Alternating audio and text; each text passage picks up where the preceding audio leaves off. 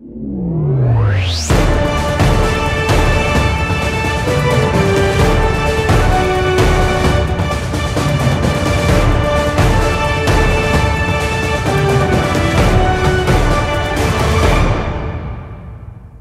soomaaliya ayaa golaha ammaankii qaramada midoobay ka codsatay in laga qaado cunuqabataynta hubka. Biyo-xidheenka etoobiya ayaa markii afraad la buuxinayaa daraasad cusub ayaa daaha ka rogtay in cudurka sonkortu uu halistiisu ku badanaysa adduunka. Kulantii wacan daawadayaal ku soo dhowaada warka habeenimo. Magaalada dhuusamareeb ee galmudug waxaa lagu soo gebagabeeyey shirkii wadatashiga dhinaca waxbarashada oo ka qayb galeen xukuumadda federaalk soomaaliya iyo weliba maamul goboleedada waxaana laga soo saaray ilaa iyo toban qodob shirkan oo socday muddo saddex maalmood ah ayaa waxaa si qoto dheer loogu hadlay ama loogu loofaguray guulaha laga gaaray caqabadaha lala kulmay iyo talooyinka la soo jeediyey. Waxaa si gaara diiradda loogu saaray falanqaynta la xiriirta dhinacyada baahinta tayada iyo maamulka waxbarashada. Baahinta waxbarashada. Wasiirka wasaaradda waxbarashada xukuumadda federaalk soomaaliya iyo wasiirada wasaaradda waxbarashada dowladaha xubnaha ka ah federaalka iyo maamul gobolka banaadir waxay isku raaceen. Kow in dowlad goboleedyada iyo maamulka gobolka banaadir meeleeyaan oo howlgeliyaan macallimiinta saddexda kun iyaga oo la gaarsiinayo goobihii loo qoondeeyey oo ay ka mid yihiin deegaanadii la xoreeyey laga bilaabo sana dugsiyeedka oo bilaabmaya bisha sebtembar labo in ololaha baahinta akhris qoraalka la taabageliyo lana gaarsiiyo dalka daafihiisa kala duwan. Saddex in ahmiyad gaara la siiyo dugsiyada qur'aanka kariimka ah iyaga oo horumarintooda la bilaabi doono sana dugsiyeedka soo socda oo bisha sebtembar afar in si deg deg ah loo gaarsiiyo adeegyo waxbarasho deegaanada dhowaan laga xoreeyey khawaarijta shan in dib loo howlgeliyo laba-iyo tobankii dugsi ee farsamada gacanta kuwa oo ku yaalla maamul goboleedyada iyo gobolka banaadir bisha sebtembar tayada waxbarashada. Si kor loogu qaado tayada waxbarashada dalka waxay wasiiradu go'aansadeen kow in la shaqaalaysiiyo maamulayaal dugsi oo khibraddoodu sarayso kuwa oo u howlgeli doona wanaajinta tayada adeegga waxbarashada. Labo in la taabageliyo kormeer qaran mid dowlad goboleed iyo mid heer dugsi oo tayo leh muddaysan miisaaniyad dowladeedna leh. Saddex in la qabto tababar iyo wacyigelin ku saabsan tayo dhowrka iyo halbeegyadiisa. Afar in la hubiyo wax ka qabashada caqabadihii lagala kulmay kormeeradii hore inta aan la samaynin mid hor leh.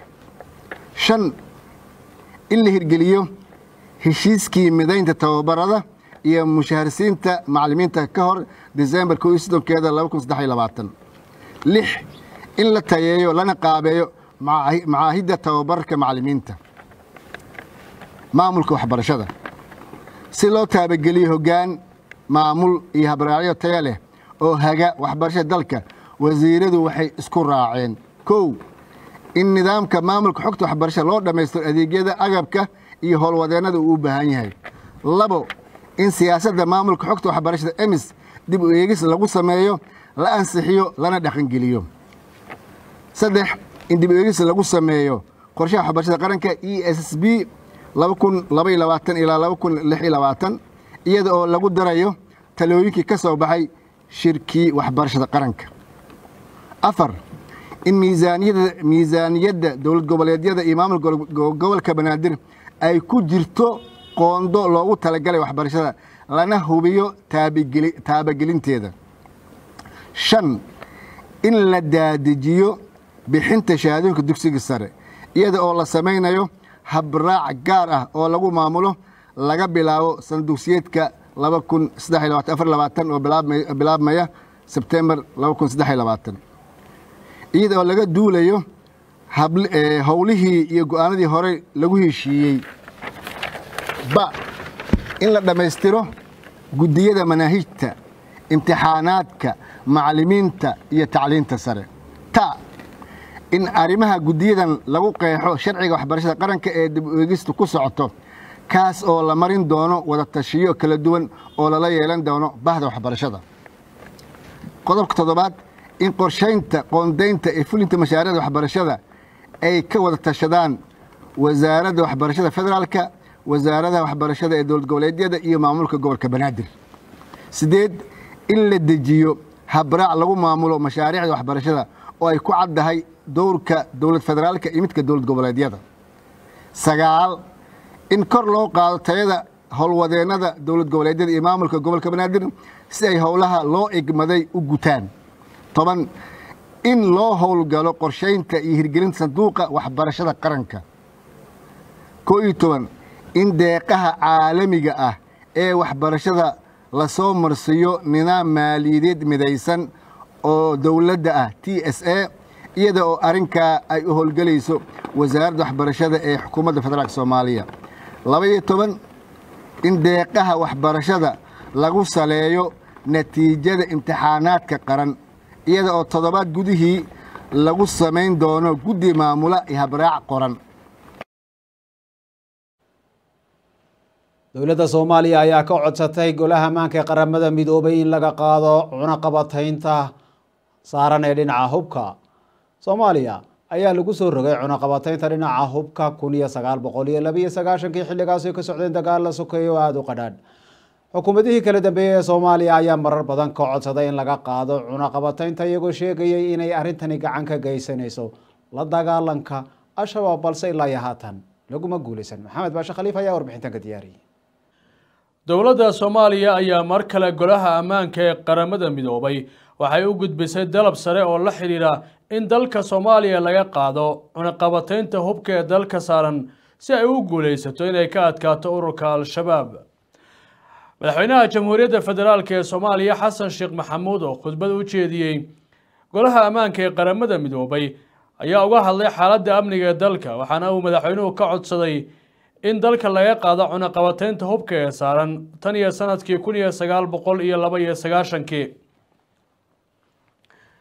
Madaxweynuhu waxa uu yidhi waxaan garowsannahay in al-shabaab laga adkaan karo oo ay u baahan tahay qorshe dhinacyo badan leh oo ay ugu horeeyaan ciidamo tayo leh iyo awood leh dhismo dowladeed oo loo dhan yahay iyo inay dowladdu awood u yeelato bixinta adeegyada asaasiga ah ee shacabka. Dowladduna waxay si dhaba uga shaqaynaysaa arrintaasi oo dhan waxaana ay doonaysaa inay ka adkaato al-shabaab kuwaasoo hortaagan horumarka dalka soomaaliya ayuu madaxweynuhu yidhi. Khudbadiisa madaxweyne xasan sheekh maxamuud waxa uu sheegay guulo wax ku oola oo laga gaaray dagaalka ka dhana al-shabaab wejigiisa koowaad waxaana uu dalbaday in haddii ciidamada xoogga dalka soomaaliya ay helaan saanad ku filan oo hub ah ay muhiim tahay inay ka adkaanayaan al-shabaab taasna ay u gudbiyeen caalamka in laga qaado cunaqabataynta hubka ee dalka saaran. Madaxweyne xasan waxa uu sheegay in toddobaatan deegaan ay fududaatay in koonfurta soomaaliya laga saaro ururka al-shabaab. Waa dhul baaxad leh oo hodana buu yidhi oo u baahan in laga faa'iidaysto. Iyadoo la xoojiyey weerarada cirka ee ku aadan dabargoynta al-shabaab iyo in la curyaamiyo dhaqdhaqaaqyada maaliyadeed ayaa waxaa dowladdu ay sheegtay inay ku guulaysatay sida uu qalay madaxweyne xasan sheekh maxamuud madaxweynaha ayaa ku adkeeyey in cunaqabataynta hubka ay noqotay caqabad halkii ay ahaan lahayd mid waxtar leh. Cunaqabataynta hubka ee saaran soomaaliya xilligan dowladda soomaaliya waxay ku tahay caqabad adag oo aysan ka gudbi karin. Laakiin waxaa markii hore loo arkayay mid waxtar leh in la yareeyo qulqulka hubka ee dalka si looga taxadiro khilaafaadka iyo dagaalada sokeeye madaxweynuhu waxa uu sheegay intaasi ay ku tallaabsatay dowladdu horumar loona baahan yahay in caalamku xilligan ay sii daayaan cunaqabataynta oo ay ka qaadaan soomaaliya si loo horseedo jid barwaaqo leh oo ka gudba xayndaabka cunaqabataynta iyo in laga adkaado kooxda al-shabaab. Madaxweynaha soomaaliya xasan sheekh maxamuud waxaa kale uu sheegay in soomaaliya sannadkii kun iyo sagaal boqol iyo laba iyo sagaashankii iyo sanadkan laba kun iyo saddex iyo labaatanka farqi weyn oo dib u kabasho dowladeed ay gaartay. Lana fiiriya buu yidhi dalku hadda halka uu marayo ee aan lagu cabirin sida uu ahaa kal hore. Madaxweynaha ayaa mar uu ka hadlayay tallaabo loo qaaday in lagu maarayo hubka iyo rasaasta dalka. Waxa uu ka codsaday ergeyga ah ama ergada fadhida inay gacan ku siiyaan baaqa ah in gebi ahaanba la qaado cunaqabataynta hubka ee saaran soomaaliya. Dowladda soomaaliya ayaa dhowr jeer u gudbisay caalamka iyo dalalka quwadaha in laga qaado cunaqabataynta saaran hubka ee soomaaliya si ay uga adkaadaan ururka al-shabaab. Laakiin kalkii hore sannadkii hore golaha ammaanka ee qaramada midoobay ayaa mar kala dheereeyey wakhtiga ama muddaynta cunaqabataynta hubka ee saaran soomaaliya magaalada maka ee barakaysan waxaa ka socda diyaargarowgii ugu dambeeyey dhinaca xajka. Wasiirka awqaafta iyo diinta soomaaliya oo isagoo halkaasi ku sugan ayaa waxa uu booqday meelaha barakaysan ee mina ee teendhooyinka loogu diyaariyey xujaajta soomaalida ee sanadkan oo gaadhaya tir ahaan ilaa iyo koob iyo toban kun oo xujaaj. Xajka sanadkan waxaan rajaynaynaa intiisa hore ilaahay salaamuu nagu soo gudbiyey. Halkaa xaajiyoo naga dhintay mooyaane. Iyo hal xaajiyoo jabtay. Iyo hal xaajiyoo isagana la qalay intaasoo maaha laba xaajiyoo la qalay ha inta kale nabad baan ku ognahay inta dhimanna ilaahay waxaan rajaynaynaa inuu nagu asturo. Hadda waxaan soo fiirinnay teendhooyinkay degi lahaayeen musqulahay isticmaali lahaayeen baan soo aragnay. Wixii mulaaxadaadoo aan ka qabnay shirkadda walaalaheen oo sanadkan aan wada shaqaynayn waan u sheegnay. Waxaan rajaynaynaa inay mulaaxadaadkaan u sheegnay wax ka bedeli doonaan. Waxayna tuseen horta waxaa jirtay masaaxada annagu aan haysanno iyo cadadkayaga islama ekayn meeshii markaan siddeed kun ama toddoba kun aan ahayn nala dejin jiray ayaa haddana sannadaha nala dejinaya annagoo kow iyo toban kun iyo shan boqol kow iyo toban kun iyo lix boqol gaarayno. Tii hoogaa waa ka cabannay. Walaalaheen waxay noo sheegeen inay dadaal sameeyeen meel cusub bayna soo tuseen hoogaa xujeya qaadi karta.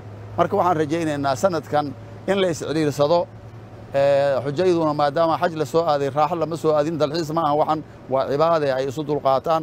Waxaan rajaynaynaa inay dhammaan la ceeb asturo. Waxaan rajaynaynaa inay isu naxariistaan. Waxaan rajaynaynaa xalay waxaan arkayey soomaalidu horta waxaa dhaqan u ahaa dumarka iyo waayeelka inay aad u ixtiraamaan iyo ilmaha yaryar bay soomaalidu caan ku ahayd. Dadkii wax daaray lama garanayo. Waxaan iyagoo dhallinyaradii waayeelkii ka hor ay baabuurta fuulayaan. Laakiin xalay culimmadii iyo tawciyadaa la joogtay waxay lahaayeen waayeelka hormariya dumarka hormariyay lahaayeen. Saas in lagu socdo wax walba iyaga lagu hormariyo ayaan rajaynaynaa sanadkan haddii la noolaado meeshii la degi lahaa waatan ilaahay waxaan ka rajaynaynaa inuu nagu asturo. Waxoogaa waxaan isnidhi meesha qaabkay u qalabaysan tahay iyo markaan dhaliila ka sheegnay kadib walaalaheen waxay nagu dhaheen ummadda kaleba waa idinla mid. Waxaan ku nidhi natusa haddayna la mid yihiin. Mar dhoweyd waxaan galnay wariyaashu waynala socdeen walaalaheenoo deris nala aho bangaladesh baan galnay haddaanay ma og tahay ama waa nala mid ama waa isu dhownahay ama waa nala mid ama waa isu dhownahay.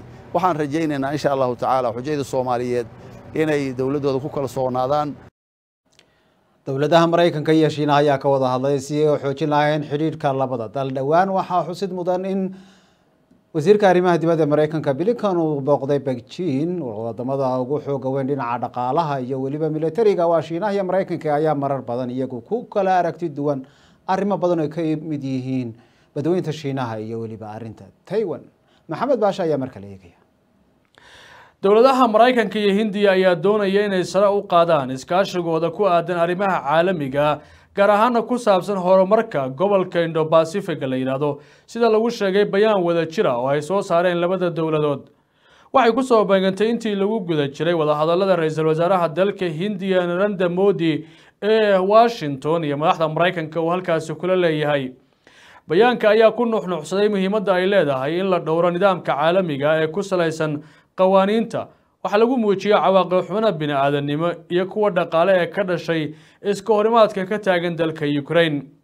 Hogaamiyaashu waxay ku baaqeen in la sameeyo dadaal dheeri ah oo lagu yaraynayo cawaaqibka ka dhalan kara dagaalka gaar ahaan waddamada soo koraya ayaa bayaanka lagu yidhi. Waxa sidoo kale ay ballan qaadeen inay sii wadaan gargaarka bini-aadantinimo ee dadka reer ukraine waxay ku baaqeen in la ixtiraamo sharciga caalamiga iyo mabaadi'da axdiga qaramada midoobay iyo mabaadi'da dhuleed iyo madax bannaanida ayaa lagu yidhi bayaanka wadajirka ah ay soo saareen dhinacyada maraykanka iyo hindiya. Sida lagu sheegay bayaanka madaxdu waxay hoosta ka xariiqeen baahida loo qabo xoojinta iyo dib nidaamka dhinacyada badan leh si wanaagsanna uga turjumaya xaqiiqda xilligan madaxweynaha dalka maraykanka joe biden iyo ra'iisul wasaaraha dalka hindiya naranda modi waxay isku xilqaabeen baa la yidhi bayaanka sida lagu sheegay inay awood u siiyaan si ay uga mid noqon lahaayeen iskaashiga wanaagga caalamiga iyagoo tix raacaya wadahadallada amniga ee afargeesoodka ee kooxaha afarta waddan ah maraykanka australia hindiya iyo jaban waxaa sidoo kale ay ku celiyeen go'aanka waara in loo helo gobolka xorta ee furfuran ee loo dhan yahay iyo nabad barwaaqo leh gobolka indo-basifiga iyadoo la ixtiraamayo madax banaanida dhuleed madax banaanida iyo midda caalamiga ayaa lagu yidhi bayaanka. Hogaamiyaashu waxaa dhinaca kale ay walaac wadajira ka muujiyeen xaaladda sii xumaanaysa ee dalka myanmar waxayna cambaareeyeen xasilooni darada gantaalada plastic missileska ah ee kuuriyada waqooyi bayaanka ayaa lagu sheegay in maraykanka iyo hindiya ay u wada taagan yihiin sidai ay uga hortegi lahaayeen argagixisada caalamiga ayna si aan leexleexad lahayn u cambaareeyaan argagixisada iyo xagjirnimada rabshadaha wata nooc kasta iyo muuqaal walba oo ay leeyihiin. Marka la fiiriyo wadahadallada dhex maray madaxweynaha maraykanka joe biden iyo hogaamiyaha ama ra'iisul wasaaraha dalka hindiya narendra modi waxay u muuqdeen kuwo u muuqanaya in qowda maqashay waxna ha u qaban lagu ekeeyey. Maadaama hindiya in dhowaalaba ay ka gaws haysatay inay si furan ula hadasho ama xiriiro toosa ula yeelato waddamada galbeedka. Hindiya waxay ka mid tahay waddamada ku midoobay dhaqaalaha ee la isku yidhaahdo brix oo ay ka mid yihiin brazil hindiya shiinaha ruushka iyo south africa. In dhowaalaba hindiya waxay u janjeertay dhinaca waddamada quwadaha bariga fog ee qaaradda eshiya ee shiinaha iyo dalka. Daawadayaal waxaa aan ansaxitaan ku sameynaynaa qodobkaasi wuxuu ku saabsanaa waddamada xidhiirka waddamada maraykanka iyo hindiya oo beryihii u dambeeyey cilaaqaadkoodu soo xoogeysanaya ra'iisul wasaare hindiya modi ayaa isagu ku sugnaa oo tegay dalka maraykanka waxaana la sheegaa baryahii u dambeysay in labada hogaamiye aada isugu dhowaayeen dhinaca kalena hindiya oo wadanka xawaaraha dadbadnida ku dhaafay dhinaca shiinaha marka la eego dhowaan koobkii la sameeyey. Dhinaca kalena maraykanka iyo shiinaha ayaa ah laba quwadood oo iyagu aada iyo aada isugu khilaafsan qodobo badan marka la eego. Hagaag imikana warbixin ku saabsan daraasad cusub oo laga sameeyey macaanka iyo sonkorta ayaa lagu sheegay in adduunka ay ku soo badanayso soddonka sano ee soo socda daraasadda waxaa lagu sheegay in haddii aan la qaadin tallaabooyin wax ku ool ah laga yaabo in tiradaasi ay sii badato dhinaca kalena khataraha dhinaca sankarowga ah adduunka uu aada ugu sii faafo.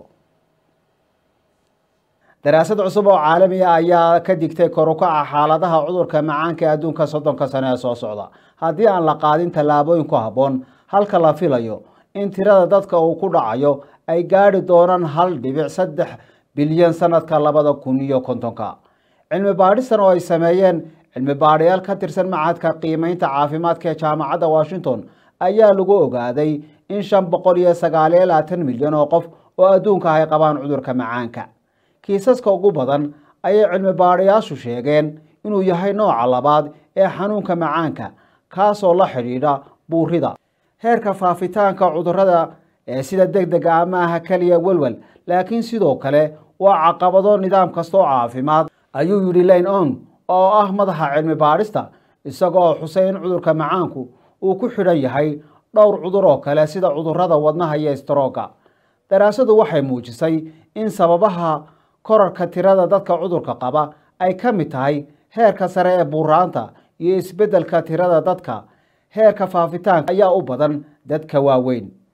Cilmi baadhayaashu waxay sheegeen in xogta laga helay laba boqol iyo afar waddan aanay tixgelinaynin saameynta cudurka covid nneteen sababtoo ah weli lama heli karo.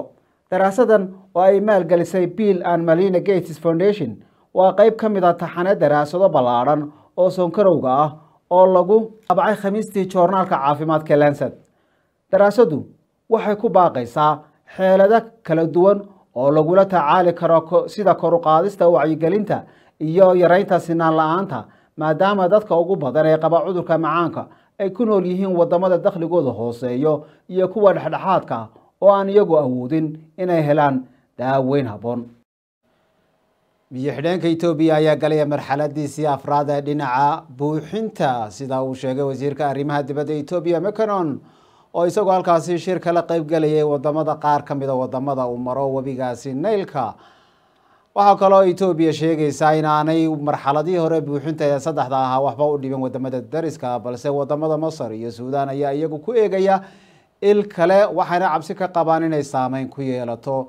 Saamiga dhinaca biyaha ee wadamadaasi ay heli karaan waxaa xusud mudan etoobiya uu yahay mashruucii ugu ballaarnaa dhinaca koronto dhalinta ee abid africa laga sameeyo.